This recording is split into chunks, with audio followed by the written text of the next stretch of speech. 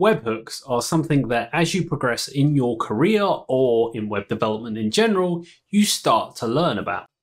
So in this video, we're going to be covering what webhooks are and how you use them. So let's start with the important question. What are webhooks? Well, you can think of webhooks as a reverse API. Now, what do I mean by that? Well, usually when you interact with an API, you personally make a request from your application, whether that somebody clicks a button or some sort of interactability happens, a page loads, whatever it might be, and you sort of pull the data down from somewhere. With a webhook, what actually happens is an application pushes some data to a URL that you specify and then your application needs to handle that in a specific way. So instead of pulling the data down and sort of requesting the information that you need, it's getting pushed to your application. So maybe I can explain that a bit better. So let's draw a quick diagram here. So here we have your application, and then over here we have some sort of service, right? So let's just put some text here and say application. And over here, we have our service. So there we have basically the two pieces that we need. So in the normal API world, what you do is you kind of say, hey, I need this data. And you kind of pull the data in and it gets pushed back. With a webhook, it works a bit differently. So if we just grab this like this, copy it down and paste it, drop it here, and then we get rid of this error right here because we're not making any requests. What happens is, is this service, this could be Stripe, this could be Clerk, this could be whatever kind of application that you may be using that uses webhooks, is essentially sending you back information. Now, a great example of this is when you create a new user. For example, in Clerk, we have this webhook functionality that says when you create a new user or a user gets updated or a session expires, a bunch of different things, send to a specific URL so they can handle it. I need to fill some database information when a user is created. So with this webhook, you can push that data along and it says, hey, this user was just created, and then you can maybe update your database. Another example could be if you're using Stripe. When a user pays for your product, let's say it's a subscription for your latest SaaS product, it's not happening on your website, it's happening out through the checkout on Stripe.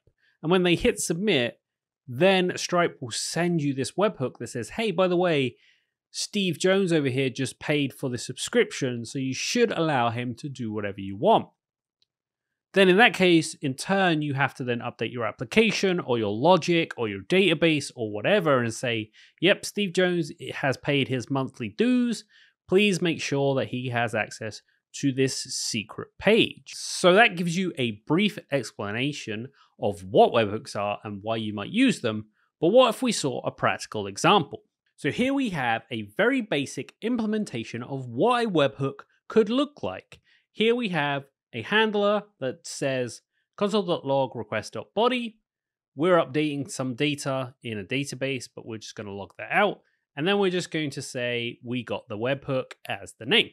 Now, this is a very basic implementation, and I'm just using Next.js APIs as an example, and you can totally handle this with an API route from Next.js. So now we have that, we should actually use this webhook somewhere. Now, the problem with creating webhooks and testing locally is you're using localhost here, but you need access to the outside world to make this happen. So you have a few different options for services here. You can use ngrok, which I don't particularly like. You can use local tunnel, which I absolutely love. And you can also use webhook.site to just test out what happens when a webhook is sent to you. So first let's do webhook.site so that you can see how a webhook would work in general. So when you go to webhook.site, it's going to give you a unique URL right here and you can use this however you want. So I'm going to copy this to our clipboard and I'm going to use Clerk to send us some webhooks. So what I'm going to do is I'm going to go to clerk.dev and I'm going to go ahead and log into the dashboard. And we'll go ahead and use this Skillshare from yesterday's live stream, and we're going to click this webhooks button right here. Now it's going to load in our webhook handler here, and we just need to add the endpoint. So we go ahead and add an endpoint here and hit create. Now this is fully functional and can be used now. So under testing here, I can actually test a few events. So a good example would be user created because that gives you some sort of data with a bunch of stuff. And as you can see here, there's a bunch of data in here, birthday, created email addresses, blah, blah, blah. It's a giant object with a bunch of things. So I'm gonna go ahead and send this example. And then what's gonna happen down here is this event is going to be sent and we should see something appear here. And as you can see, there was an event here that happened and you can see that this raw data is everything in that example. So now we need to do something because this event has happened outside of our system and it says, hey, now you need to do something with this, whether that's you log it out or send it to a database or do something with it, you have to do something with this event.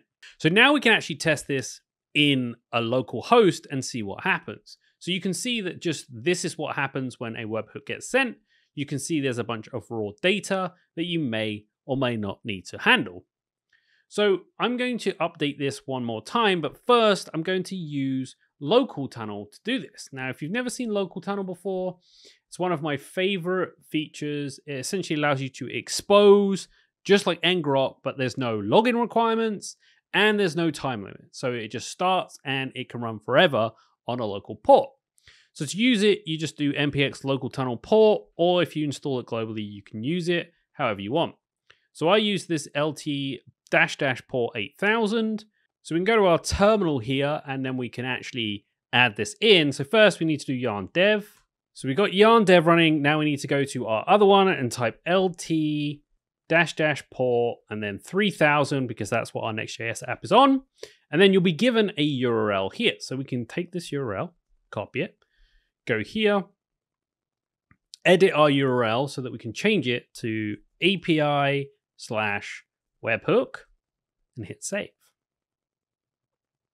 So now our application here that we've been using can now be tested to see what happens. So if I run this now and just go ahead and hit send example, and as you can see, now we have logged out this data because that's what we got sent. So now we could do, you know, this is where we could be updating our database or wherever we need it in our application. So just to give you a better example, we could grab the data. So it comes in data and that comes from request.body. And we can say uh, console.log updating database with comma here and put data dot and then let's pick out something here. Let's say data dot first underscore name. Hit save, and then I can send another test, and we can see what happens. So we go back to our dashboard here, hit send example, and there we have it. It's now saying updating database with example, which is our first name, which we can see here. So at this point, you have access to all sorts of information. So in Clerk's World, for example, you now have access to the user ID, which you can find here under ID, which means you could go to your database and update your user's information. Or if this was something for Stripe, it would probably have some sort of Stripe ID that has the email that you could then attach to your databases. So there you have a brief explanation of webhooks. If you're interested in the Jamstack and Astro, check out this video I did on Astro 1.0.